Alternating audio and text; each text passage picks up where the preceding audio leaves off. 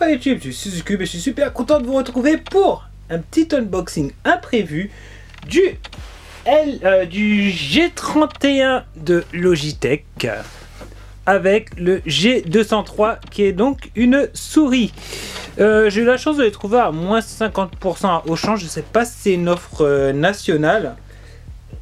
Voilà, j'ai mon petit couteau et on va tout simplement commencer. Hop. D'habitude, chirurgical. Voilà.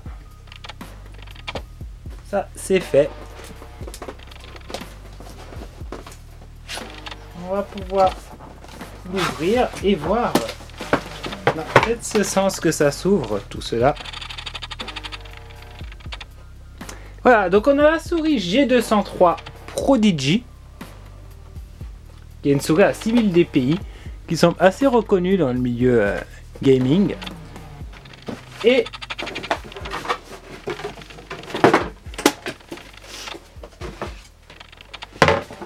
on a également le casque, le G231 Prodigy là aussi.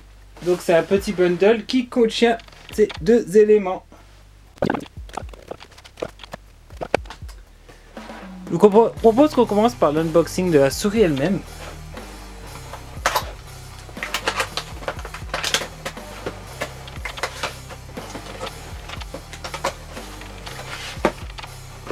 Unboxing plutôt soft, hein, puisque il n'y a pas grand chose dans la, dans la boîte. Hein.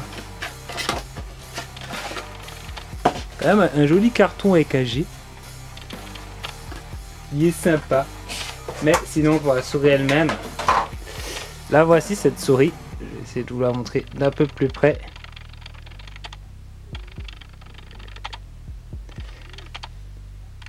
Donc une souris USB classique. Hein. C'est une souris USB classique. Elle s'allume. Je sais qu'elle est RVB. Il y a deux boutons.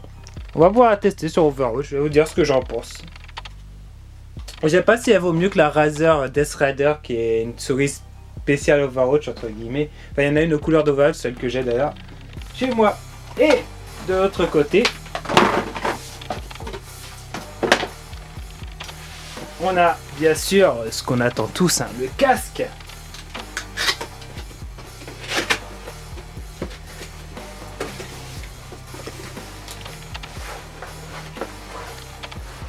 Je crois que je suis dans le bon sens.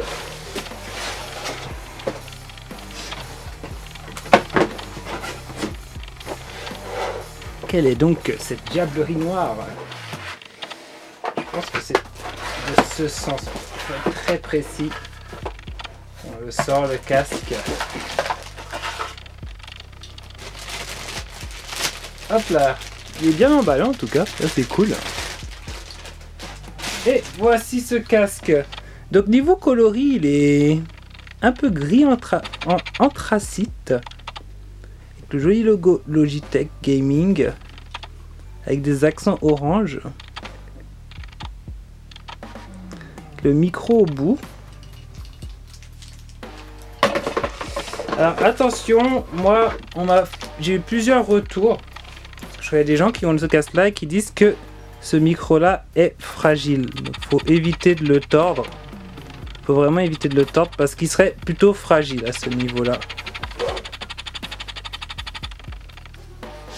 Donc on a une petite télécommande pour euh, commander euh, le casque et on a une seule sortie.